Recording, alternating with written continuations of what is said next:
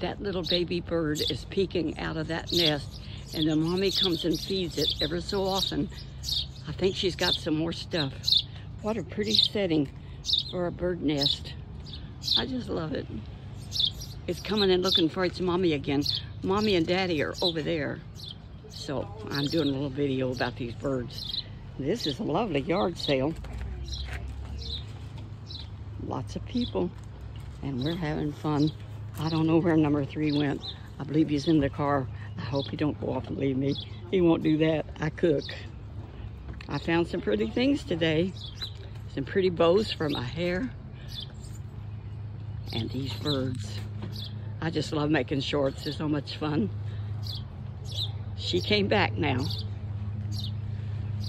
So I'll talk to you later. Bye-bye. Love you.